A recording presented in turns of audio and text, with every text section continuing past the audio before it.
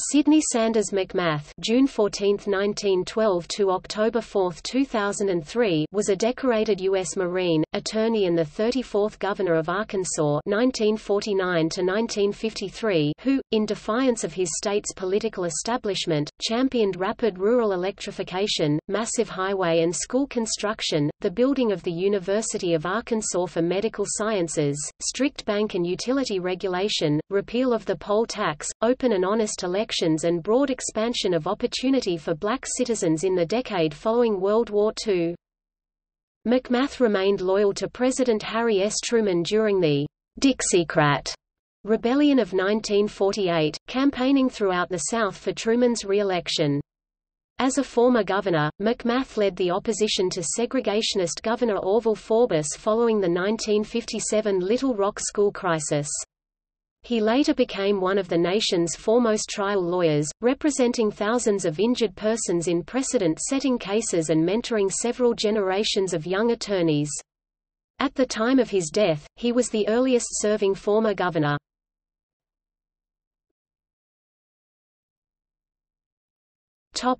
Early life McMath was born in a dog-trot log cabin on the old McMath home place near Magnolia, Columbia County, Arkansas, the son of Hal Pierce and Nettie Bell Sanders McMath. His paternal grandfather, Columbia County Sheriff Sidney Smith McMath, grand-nephew of his martyred Goliad namesake, had himself been killed in the line of duty the previous year, leaving a pensionless widow and eight children, Hal being the eldest. After years of wrangling horses and bad luck wildcatting in the southwest Arkansas oil fields, Hal McMath moved his family by wagon to Hot Springs in June 1922. There, he sold the last of his horses and took a job as a barber. Nettie went to work as a manicurist and for the Malco Movie Theater as a ticket vendor.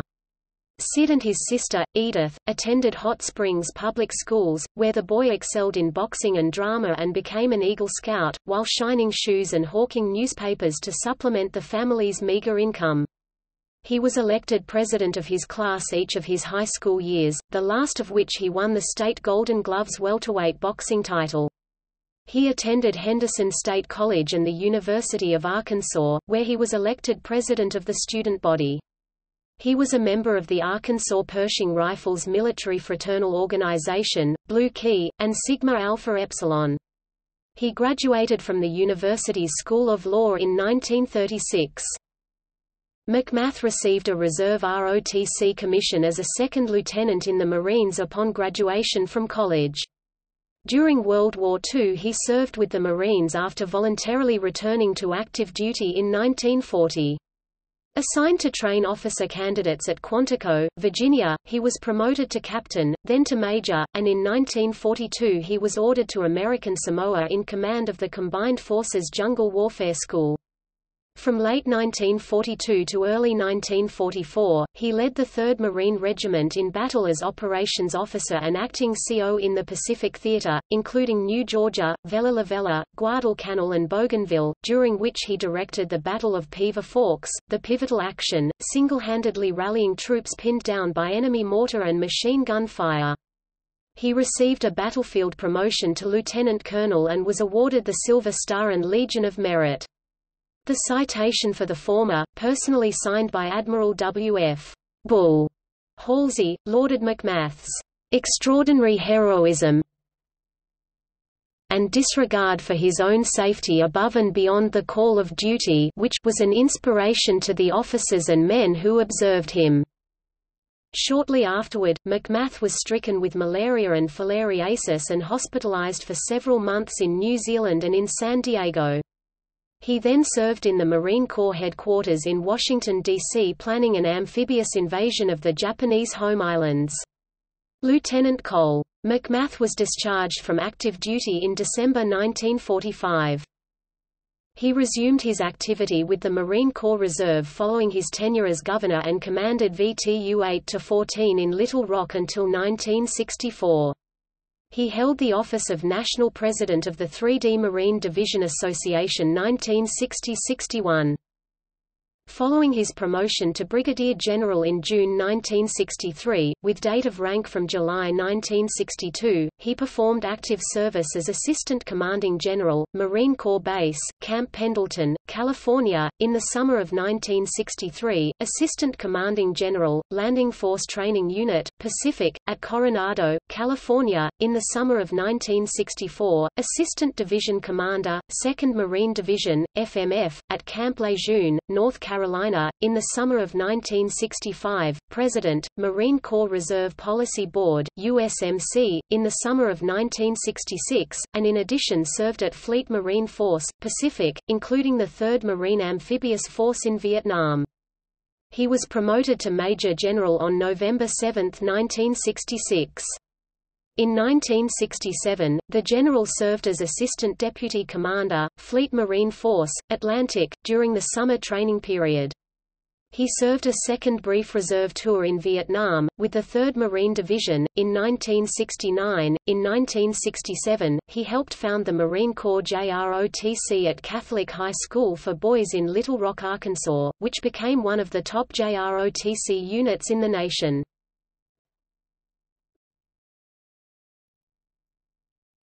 Topic: Early career in politics. In early 1946, McMath and other veterans returning from World War II banded together to fight corruption in the Hot Springs city government, which was dominated by illegal gambling interests. Hot Springs at the time was a national gambling mecca frequented by organized crime figures from Chicago, New York City, and other metropolitan areas. Casinos flourished and hotels advertised the availability of prostitutes. Mobsters maintained political control by purchasing and holding hundreds of poll tax receipts, often in the names of deceased or fictitious persons, which would be used to cast multiple votes in different precincts.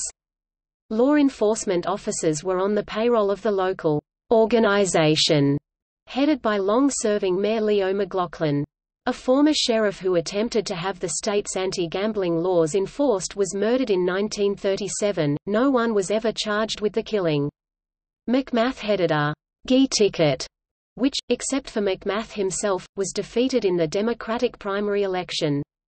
However, the others resigned from the party and ran again as independents in the 1946 general election after McMath persuaded a federal judge to toss out the fraudulent poll tax receipts. Most won their offices.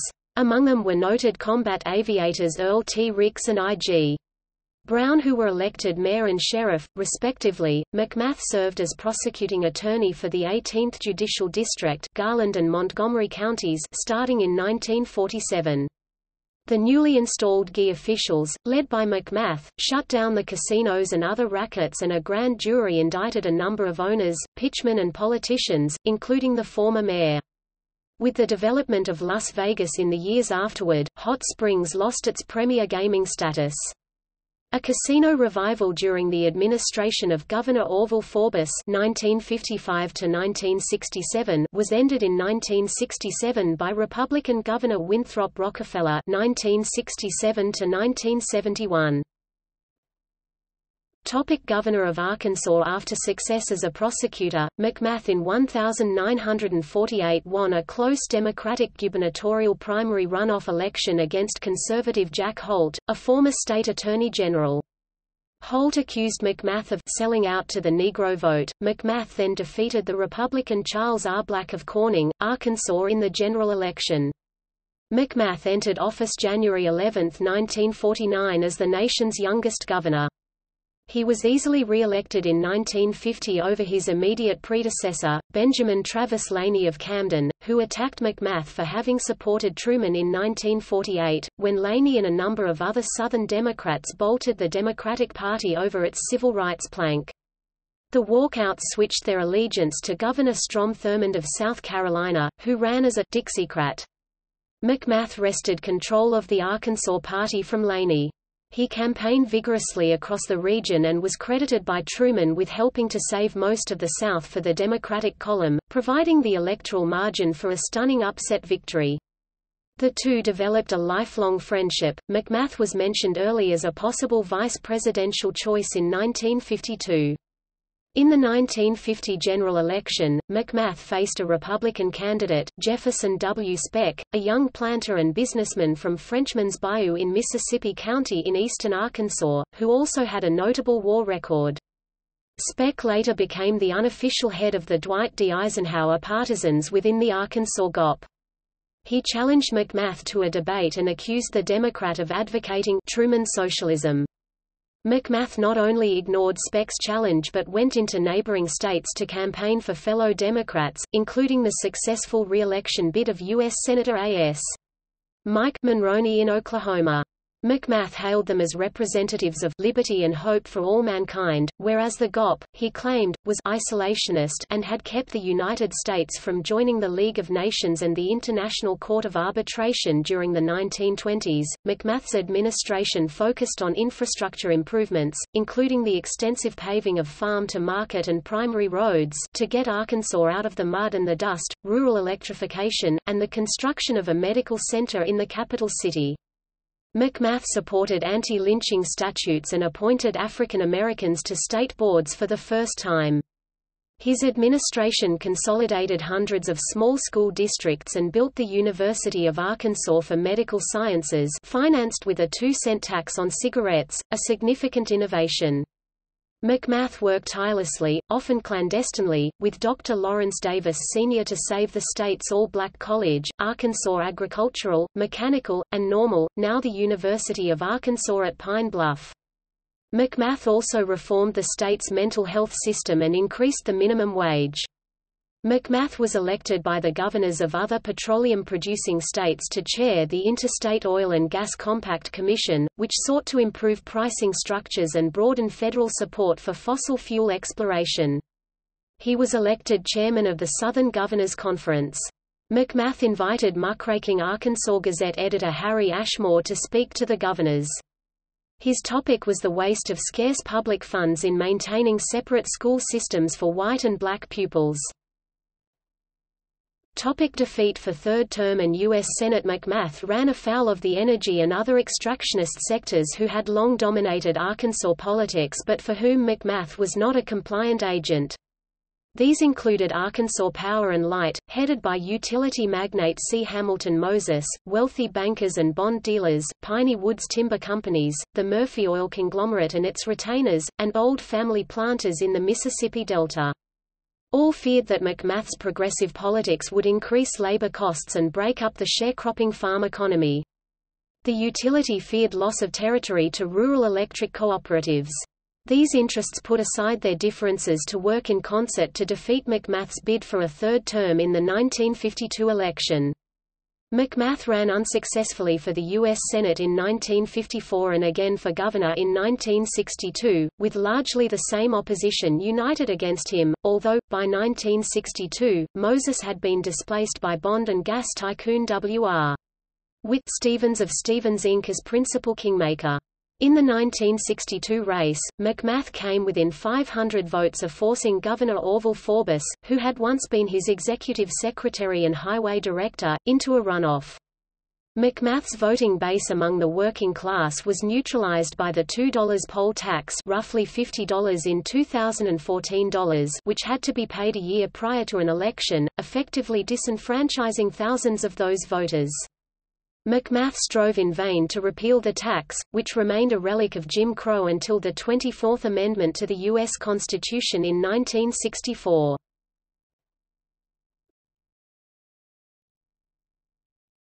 Topic: Trial law practice. Following his 1952 defeat, McMath returned to the practice of law and over the next half-century became one of the leading consumer trial attorneys in the United States. His cases set a broad range of legal precedents, including the first million-dollar personal injury verdict in a U.S. District Court for an injured Arkansas River barge crewman, in 1968, a woman's right to recover for the loss of her husband's consortium an element of damage previously limited to men, manufacturers' responsibility for harm caused by defective products and negligent advertising encouraging their misuse, the chemical industry's liability for crop and environmental damage, drug companies' responsibility for fatal vaccine reactions in children, gun dealers' fault for the negligent sale of firearms, and the right of workers to sue third-party suppliers for job injuries. He and his partner Henry Woods, who had served as his gubernatorial chief of staff and later was appointed U.S. District Judge, became nationally known for their effective use of powerful demonstrative evidence, such as detailed models of accident scenes and the human anatomy. In 1976, he was elected president of the International Academy of Trial Lawyers, a select group of 500 of the world's most distinguished barristers, taking office February 22, 1977 at the group's annual convention in Nairobi, Kenya. McMath's courtroom victories were all the more remarkable for being won in an era of blue ribbon Juries handpicked by commissioners, themselves selected by state court judges beholden to insurance defense law firms from whom they received thousands of dollars in non-reportable and non-refundable campaign contributions for re-election races in which few were ever opposed. Factory workers, blacks, union members, ordinary laborers and other wage earners were often excluded from panels which were heavily weighted with bank and insurance company employees, mid-level managers, realtors, small business owners, salaried professionals, country club members and others hostile to claimants.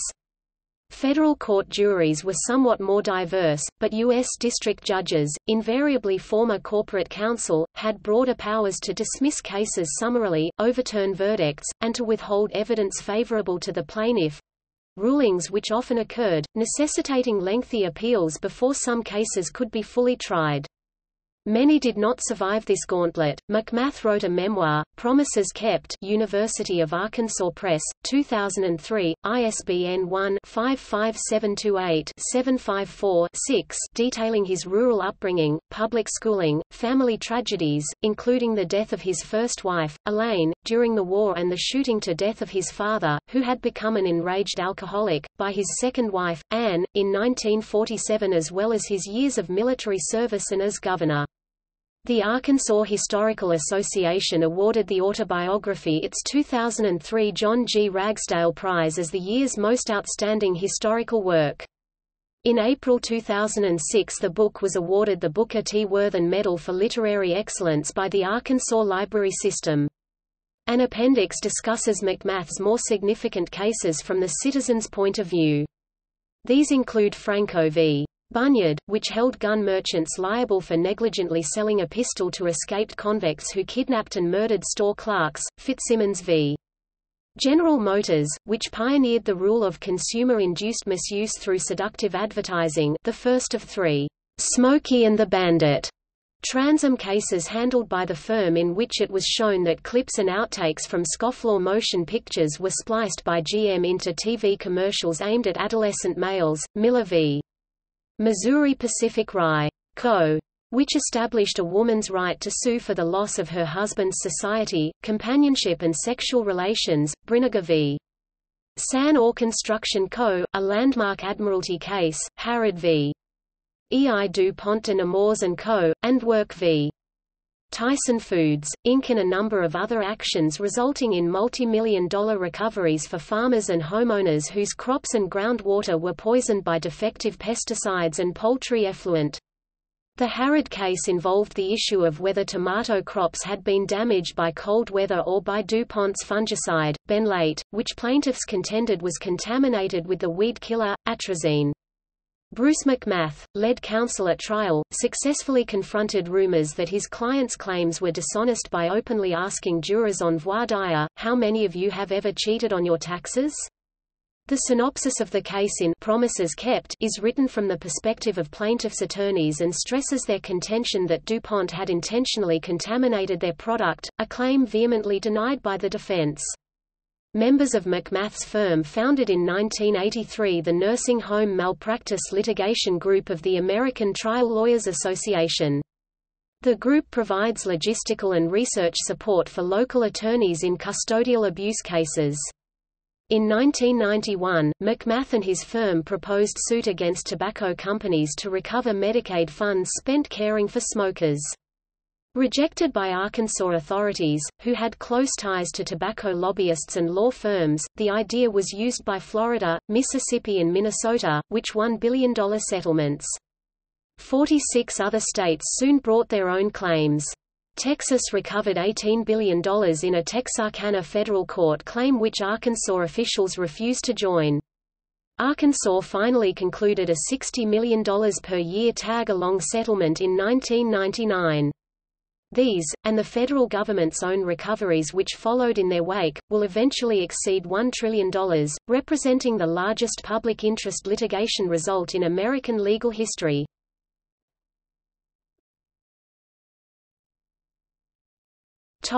Later life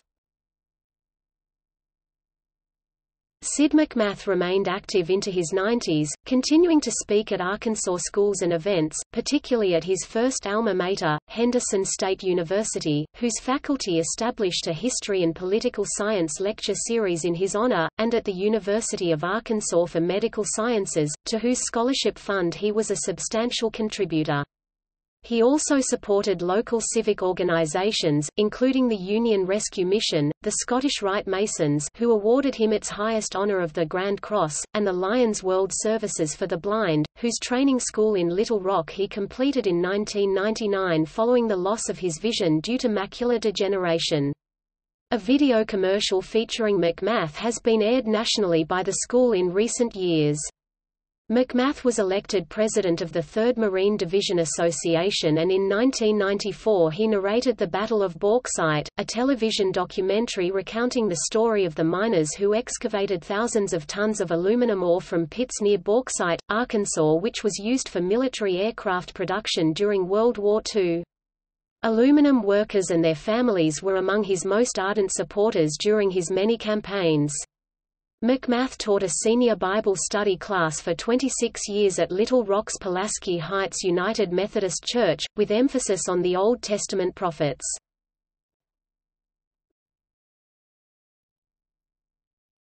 Topic: Historical evaluation.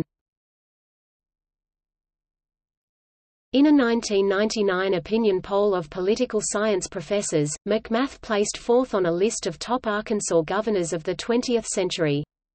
However, in a December 2003 forum of historians and journalists sponsored by the Old State House Museum in Little Rock, there was a consensus that McMath's historic highway and school building programs, his early commitment to civil rights, particularly his support of U.S. President Harry S. Truman in the 1948 presidential election against Dixiecrat Strom Thurmond, the abolition of the so-called white primary in Arkansas 1949, the opening of the state's medical and law schools to African Americans fall 1948, but only after Governor-elect McMath's express approval, his championship of rural electrification and his relentless opposition to segregationist Governor Orval Faubus, a former McMath ally Faubus had served as McMath's director of highways. During the 1957 Little Rock Central High School desegregation turmoil and throughout Faubus's subsequent nine years in office office, could well result in his elevation by future historians to first place, not only among Arkansas governors, but among all Southern governors of the time. During the Little Rock integration crisis, McMath called upon U.S. President Dwight D. Eisenhower to take over the Arkansas National Guard if Faubus used it improperly to obstruct the implementation of federal court orders.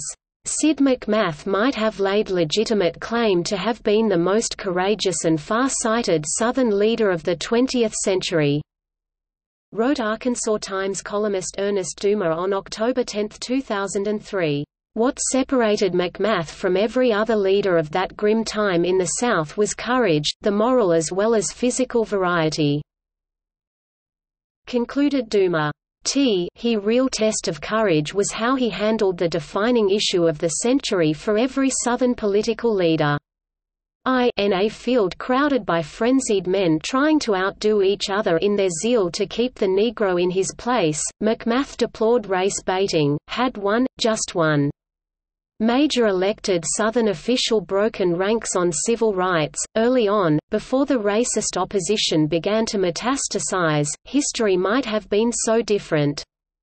The tragedy of Faubus and Fulbright was that they lacked the courage to do so. The tragedy of Sid McMath was that corporate vengeance denied him the opportunity to do what they would not. George Arnold, Northwest Arkansas opinion editor of the Arkansas Democrat Gazette, observed in a March 2004 column that if McMath had been able to take Arkansas further down the path to modernization and racial harmony, Arkansas history would have been quite different. Arkansas paid a big price when the public utilities muscled him out of office. It is still paying. See further reading, below, for continued utility pricing disparity in Arkansas compared to neighboring states. Harry Ashmore, whose Arkansas Gazette editorials during the Little Rock School crisis won dual Pulitzer Prizes for him and the paper, wrote in an April 1977 book review that McMath's return to active politics in the Faubus era was pro bono, an act of integrity undertaken when he knew the chances of winning were slight and the personal cost would be high. O. Nee who did not always see eye to eye with him could say of Sid McMath, he was there when the people needed him and didn't know it. He is a far better man than any of those who came out ahead of him at the polls. The Arkansas Democrat-Gazette, in an October 7, 2003 editorial, "'Greatness Passed This Way' Written by editorial page editor Paul Greenberg, himself a recipient of the Pulitzer Prize, lauded McMath as, T he greatest man of his era, and of a few others. Sid McMath, the newspaper said, never believed in testing the political winds before speaking out for principle. He remained a true, old-fashioned Harry Truman Democrat even as that breed gradually disappeared. When others in the party argued that America could safely coexist with evil, Sid McMath knew better, and said so. He also knew there are far worse things than losing elections, like winning them for the wrong reasons. He would not accept the expansion of evil in the world, no matter how inevitable that was said to be by distinguished statesmen at the time. Instead he would defy it, and urge others to join him.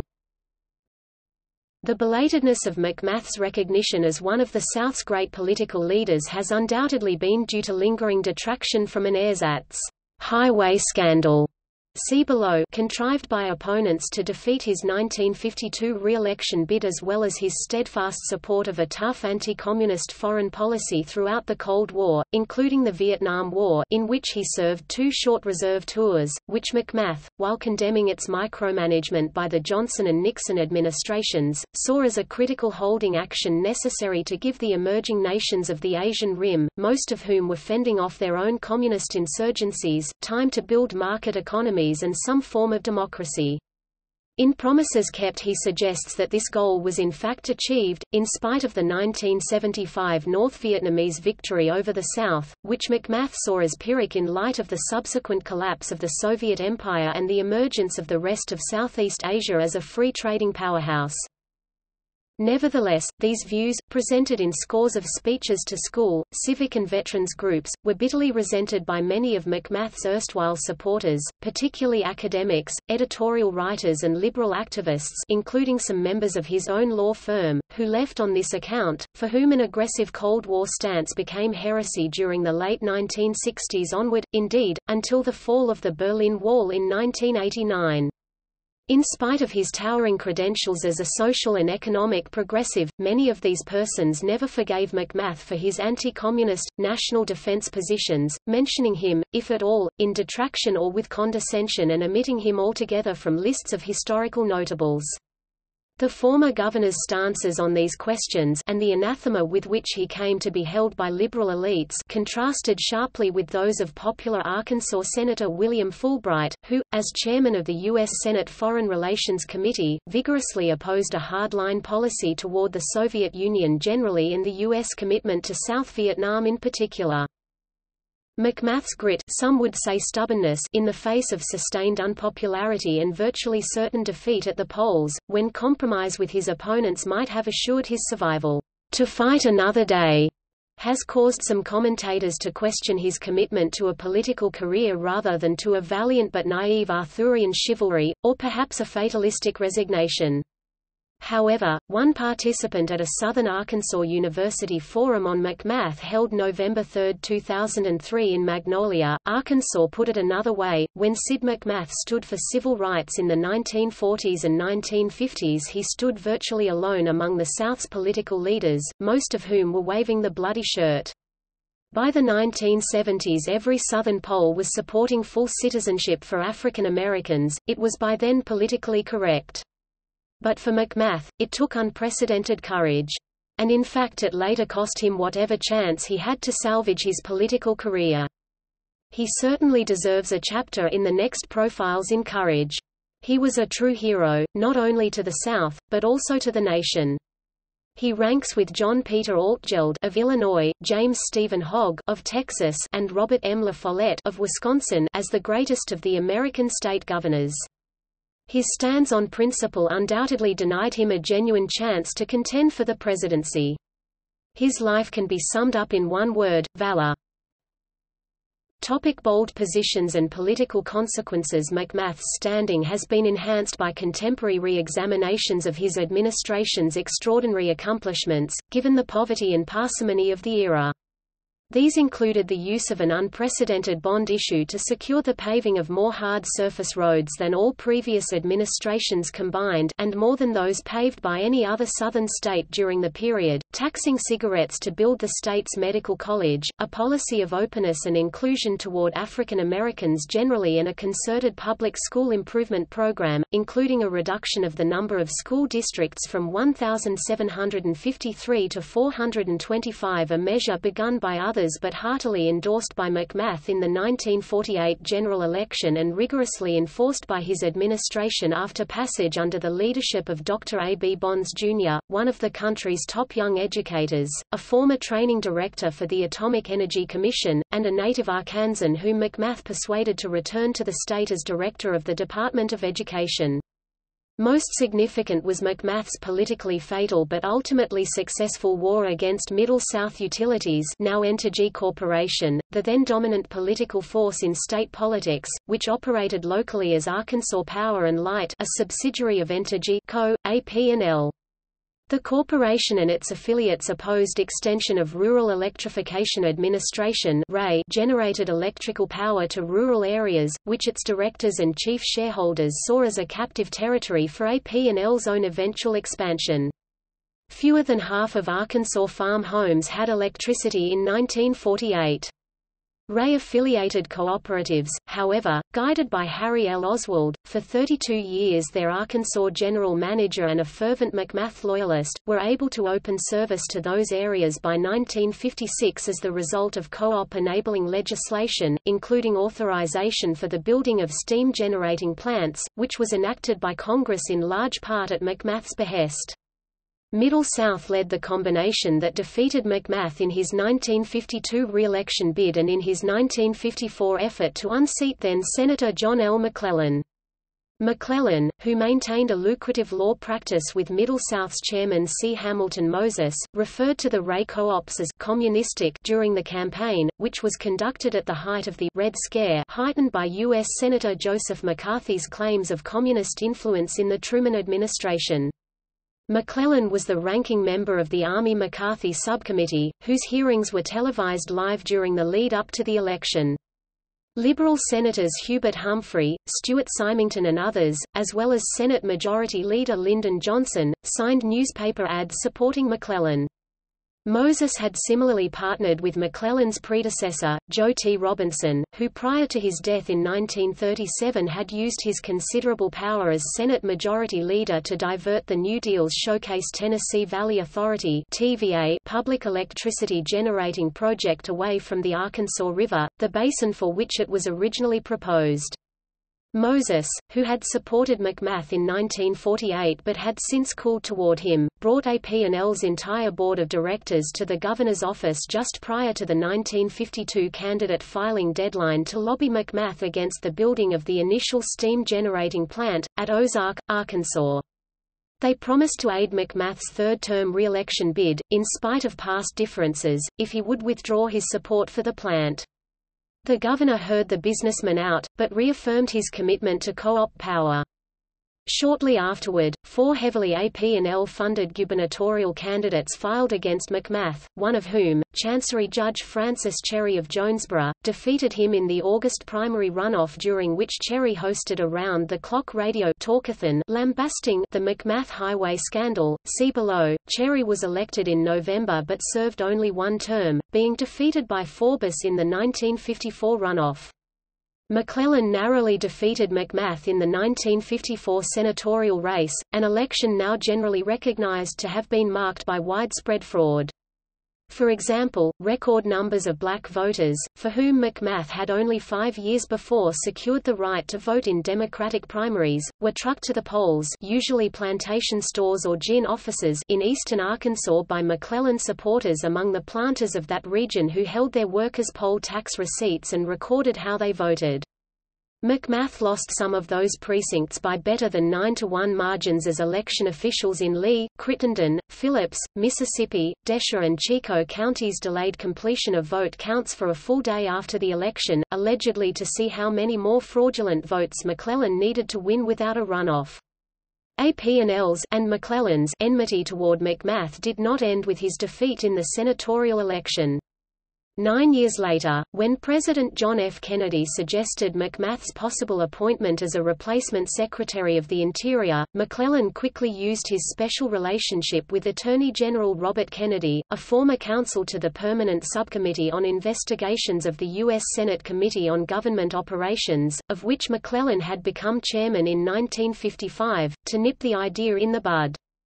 A similar suggestion in 1964 by then-President Lyndon Johnson met the same fate. Some of McMath's most stalwart support was from organized labor, whose abuses, particularly by national leaders of the Teamsters, were a focus of the committee's investigations in the late 1950s. No Arkansas Union members or officials, however, figured prominently in these probes. Allegations of corruption in McMath's highway department, brought by a grand jury dominated by utility minions, were eventually proven unfounded in three separate proceedings. Two grand juries returned no indictments, but a third on which several Middle South managers served returned three, each alleging shakedowns of highway contractors for campaign contributions. All of the accused were acquitted. There was no allegation of personal wrongdoing by McMath. However, the assertions against his administration dogged him for the rest of his life and Promises Kept includes a chapter in which McMath refutes the charges and chastises his opponents for abusing the judicial system to fabricate them. The former governor's October 22, 1954 sworn statement before the U.S. Senate committee investigating monopoly influence over the distribution of the nation's electrical power, in which he recounts Middle South AP&L's manipulation of the Arkansas Highway Audit Commission and the grand jury process, warrants inclusion in any anthology of significant state papers of the 20th century. The truthfulness of McMath's testimony describing in detail this use of raw corporate power to defeat reform and destroy the reformer was never disputed and no rebuttal was offered. See further reading, below. McMath opposed the Southern Manifesto, a March 1956 pronouncement of 19 U.S. senators, including Fulbright and McClellan, and 81 congressmen from former Confederate states decrying the Supreme Court's 1954 desegregation ruling in Brown v. Board of Education as c contrary to the Constitution, creating chaos and confusion, destroying the amicable relations between the white and Negro races, planting hatred and suspicion and an explosive and dangerous condition which is being inflamed by outside meddlers. The document encouraged public officials to use all lawful means to thwart the enforcement of the ruling. According to McMath at the time, this manifesto only serves to encourage demagogues to set fires of racial hatred that could consume our people. It was this congressional manifesto, McMath laments in Promises Kept, that gave Faubus the impetus and political cover to call out the National Guard in September 1957 to bar the entry of nine black students to Little Rock Central High School. Emboldened by this support, McMath wrote, Faubus played his racial card.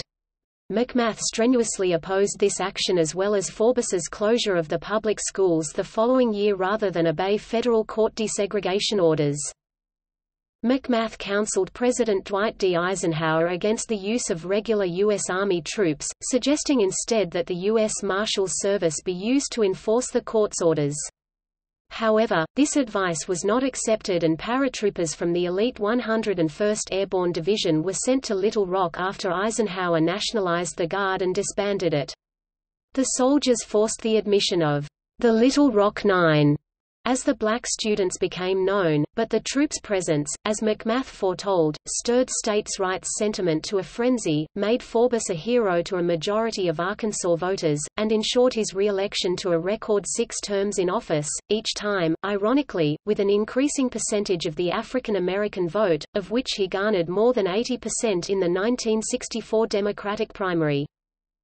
McMath became the acknowledged leader of the Faubus opposition and supported insurgent gubernatorial candidates in the 1958 and 1960 Democratic primaries. His law firm was often referred to as resembling a South American government in exile. McMath, himself, finally ran against Faubus in 1962 under the slogan, Let's get Arkansas moving again.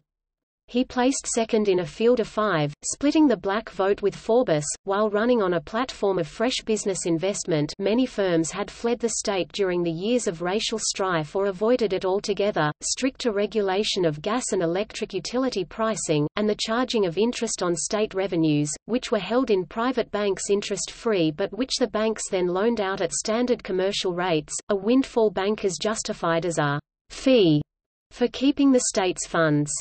Faubus narrowly avoided a runoff when Marvin Melton, a Jonesboro banker widely seen as the second strongest challenger after McMath, was persuaded by Faubus operatives who suggested that state funds could be withdrawn from his bank and questions raised about his selling of allegedly inflated insurance company stock to quit the race. The 1962 election cemented the ascendancy of Witt Stephens, Faubus's primary financial backer, as the state's undisputed kingmaker. Stephens Banks held the lion's share of state funds. His Arkansas-Louisiana Gas Company charged Arkansas homeowners whom Stephens contemptuously referred to as the biscuit cookers the highest residential rates by volume in the Southwest, thanks to Faubus's complacent Public Service Commission, an advantage that continues today. See further reading below. Additionally, Stephens' brokerage firm handled most state bond issues during the 12-year Faubus reign. The Stephens empire today controls more than $100 billion in investments. Stephens, Inc. Its brokerage arm, was until recently the largest off-Wall Street securities trading firm in the United States. A sign of its political clout, and wariness, is the firm's portfolio of newspaper and other communication holdings, the second largest in Arkansas after the Palmer-Hussman chain, which operates the only statewide newspaper and a spawn of local dailies. Between them, the two interests control, directly or through subsidiaries or associates, more than two-thirds of the state's famously quiescent print and broadcast media. Many of McMath's staunchest supporters turned out in 1966 for Winthrop Rockefeller in his successful bid to become the state's first GOP governor since Reconstruction. Rockefeller soundly defeated the Democratic nominee, an avowed segregationist Supreme Court Justice, Jim Johnson. The 1966 election was the first full general election cycle since the repeal of the poll tax and passage of the Voting Rights Act.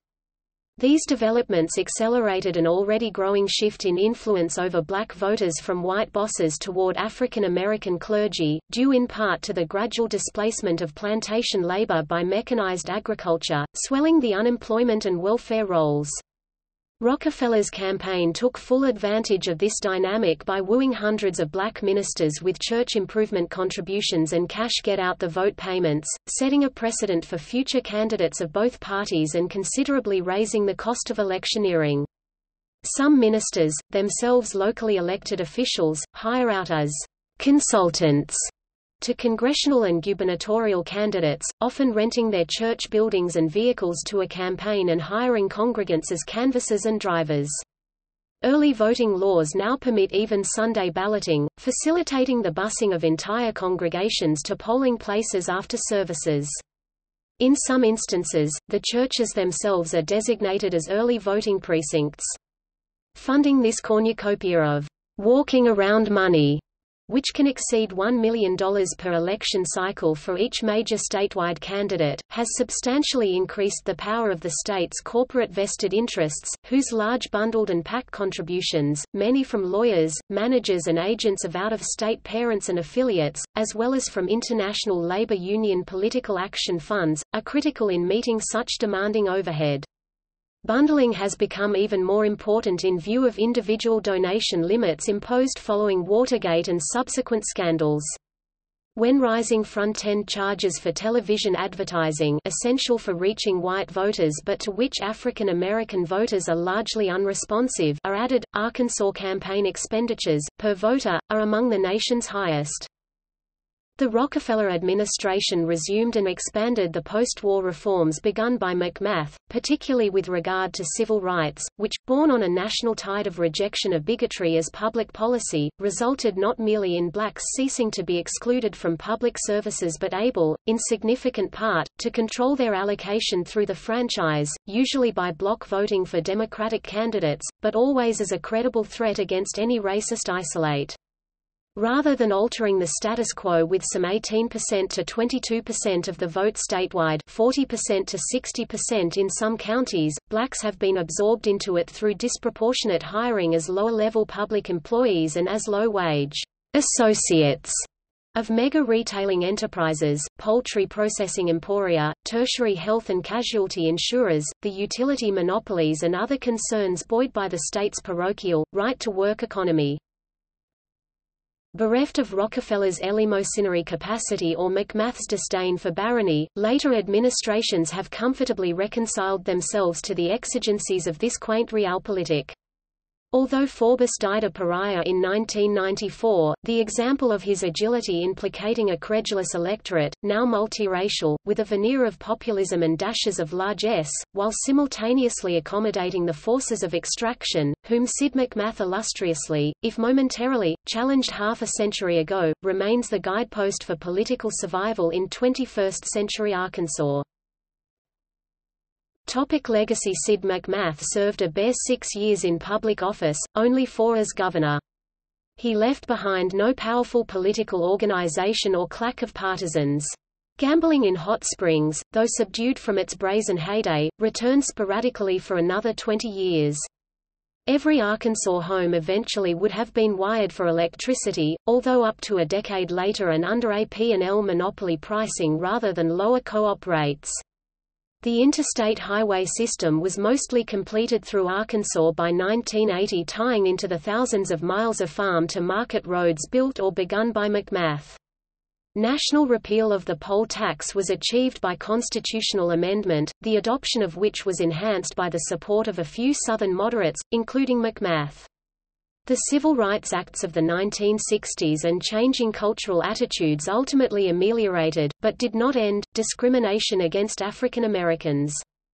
More problematical is whether President Truman would have won re-election had the Laney forces prevailed and Arkansas and the majority of the remaining southern and border states gone for the Dixiecrat Thurmond, thus throwing the election to the Republican candidate, Thomas E. Dewey, or into the U.S. House of Representatives, where mischief deal-making by vested interests, particularly the Tidelands oil lobby who were among Thurmond's primary contributors, would have shadowed any result. The support of McMath and a handful of other stalwarts was almost certainly determinative.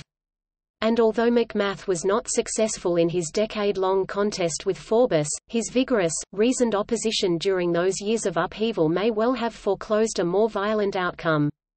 It can be said with near certainty that without McMath's foresight and perseverance, Arkansas AM&N would not have survived and the University of Arkansas for Medical Sciences would not have become the world-renowned institution that it is today. Whatever fame McMath once had fled well before his death. In recent years he sometimes had to spell his name for bank tellers, reservations clerks, state employees, once even for a newspaper reporter. He accumulated no great wealth, owning at the end a modestly upscale condominium and a small residual interest in his law firm. The latter, though no longer occupying the field alone, remains the state's premier personal injury practice. Ironically, some of its major cases are referred by competitors, many of whom appear amongst the swarms of television, internet, billboard and yellow page advertisements directed at victims and the hurt now common throughout America. A key to McMath's ultimate legacy may be found in the memory of those who knew him, if only for a time. You always left Sid McMath with the feeling, not that you had been with someone important, but that you were important, that your life had been uplifted. Arkansas Circuit Judge John Norman Harkey has said of McMath, Sid took your cares away. He refreshed your spirit. No matter how down you were before, he made you want to charge back into the battle, but with a smile, knowing, by gosh, we can really win this thing. And we did win, but, of course, McMath did not always win. A stock remark he would offer following a loss was, the bastards know they've been in a fight. You have to let them know you're not afraid to leave your blood on the courtroom floor. I've left a lot of blood on the courtroom floor.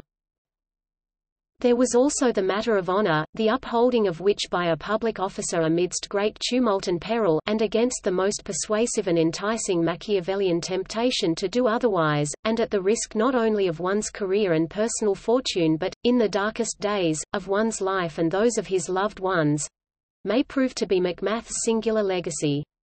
Once a noted collegiate thespian, McMath on occasion would recite lines dealing with honor from roles in which he had acted or aspired to act in his youth. He was high school cast in The Valiant and as Hamlet, Romeo and Henry V at university. But among his favorites, which he had not played but often wished he had done, was the lead in Rostand's Cyrano de Bergerac, a work he knew practically by heart, particularly the closing scene, in which the grenadier is dying alone except for his beloved Roxanne, to whom he confides that his paucity of means and acclaim, and his unconsummated love, all are nothing beside his intact honor, and that is, my white plume.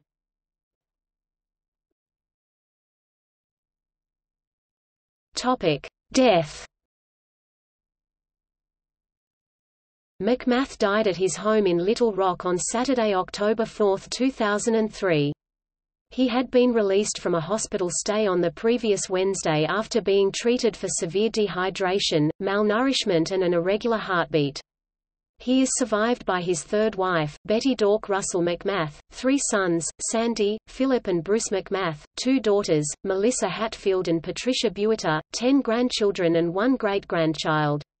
His first wife and childhood sweetheart, Elaine Broughton McMath, died at Quantico, Virginia in 1942. His second wife, of 49 years, Anne Phillips McMath, died at Little Rock in 1994. Following the death of Strom Thurmond, he became the earliest serving former governor. After his death, the title was passed on to Delaware Governor Elbert N. Carvel, who was inaugurated one week after McMath. McMath was given a full military funeral by U.S. Marine Corps Honor Guard. He lay in state for a day in the state capitol rotunda, following which his closed, flag-draped coffin was transported by motorcade to Pulaski Heights United Methodist Church in Little Rock for services attended by more than 2,000 persons. He was eulogized by former Governor David Pryor as, "...the best friend Arkansas ever had." The ceremony included hymns by the combined Methodist and University of Arkansas at Pine Bluff Vespers choirs, concluding with, Onward, Christian soldiers! Following the firing of a salute by the Honor Guard, McMath was interred at Pinecrest Memorial Cemetery in Saline County, Arkansas, a few yards from a survey marker denoting the geographical center of the state. Sid McMath Avenue in Little Rock is named for him and in December 2004 the Central Arkansas Library System dedicated a new branch in his honor. A statue of McMath, waving his trademark Panama campaign hat, was commissioned by the library from sculptor Brian Massey. It was unveiled September 26, 2006 as the centerpiece of a sculpture plaza and nature trail. In December 2006, Electric Cooperatives of Arkansas announced the presentation of the first Sidney S. McMath Award for Outstanding Leadership and Courage by a public official to U.S. Representative Marion Berry Former Congressman Mike Ross and John Paul Hammerschmidt have also received the award. Henderson State University has established the Sidney S. McMath Pre-Law Lecture Series Fellowship and the University of Arkansas for Medical Sciences recently received a $1 million private endowment for the Sidney S. McMath Professorship in Public Health. On September 19, 2012, UAMS dedicated a life-sized painting of McMath above a plaque paying tribute to him as founder of the College of Nursing, founder of the College of Pharmacy, and founder of the University of Arkansas Medical Center.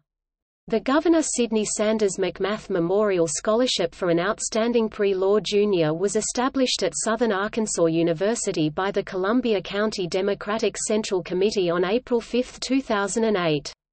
Lions World Services for the Blind presents an annual Sidney McMath Award for a lifetime of outstanding public service. The Arkansas Prosecuting Attorneys Association, in conjunction with Henderson State University, presents an annual Sid McMath Sword of Justice Award to the district attorney who best exemplifies courage and tenacity in that office. The former governor's autobiography, Promises Kept, posthumously was awarded the Arkansas Historical Association's highest accolade, the John G. Ragsdale Prize. In April 2006 it received the Booker T. Worthen Medal for Literary Excellence from the Central Arkansas Library System. The week of June 14, 2012, McMath's 100th birthday, was celebrated with a «centennial salute» by the library whose Butler Center, with Henderson State University, presented public lectures by 24 historians, educators and community leaders on various aspects of McMath's political, legal and military careers. The symposium was chaired by Dr. Michael Pierce, Associate Professor of Southern History at the University of Arkansas and editor of the Arkansas Historical Quarterly, and Dr. C. Fred Williams, Chair Emeritus of the University of Arkansas at Little Rock Department of History. Presentations were videotaped and archived by the David and Barbara Pryor Center for Oral History. Little Rock's main post office was renamed in McMath's honor on June 7, 2013 by special act of Congress signed by President Obama.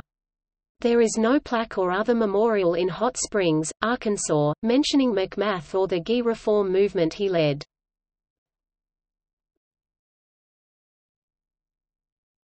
Topic: Awards and decorations.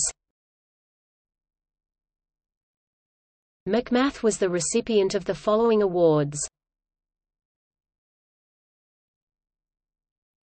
Topic. See also List of governors of Arkansas Notes